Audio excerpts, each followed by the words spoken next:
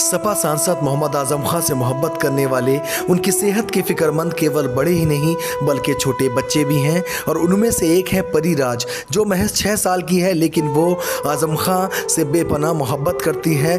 आज़म खां के लिए व्रत रखती है, आज़म खां के लिए रोज़ भगवान से प्रार्थना करती है, और आज इसने महामहिम राष्ट्रपति से अपील की है कि आज़म खां को दोबारा मैदानता अस्पताल में शिफ्ट कर दिया जाए। हम जानते हैं, बीते दो दिन पहले आज़म खां को मैदानता अस्पताल से वापस जेल सीतापुर में शिफ्ट करा गया है। और इसको देखते हुए बच्ची फिक्रमंद है, क्योंकि जो मूल सुविधाएँ मैदानता अस्पताल में मिल सकती हैं, वो जेल में नहीं मिल सकती हैं।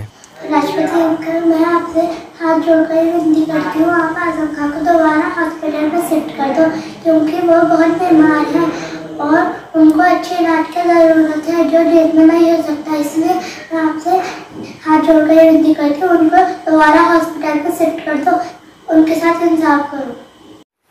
ये नन्ही सी परी बेटी है एडवोकेट विकीराज की। हम आपको बता दें, इससे पहले विकीराज ने कई बार अपने खून से ख़त लिखा है।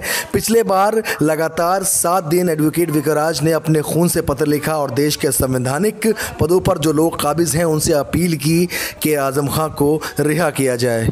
ये कैसे हालात हैं जहाँ 2022 के इलेक्शन की पार्टियाँ तैयारी कर रही हैं जहाँ पर आज़म खां समाजवादी पार्टी के एक बड़े हीरो होते थे लीड हीरो होते थे वहीं आज़म खां के ऊपर आज नए केसों को लादे जा रहा है वहीं आज़म खां से मोहब्बत करने वाले उनके लिए प्रार्थना भी कर रहे हैं और अपने खून से पत्र भी लिख रहे हैं। देखना ये होगा ये मासूम बच्ची की प्रार्थना राष्ट्रपति के कानों में कहाँ तक पहुँचती है और इसका उनके ऊपर क्या असर होता है।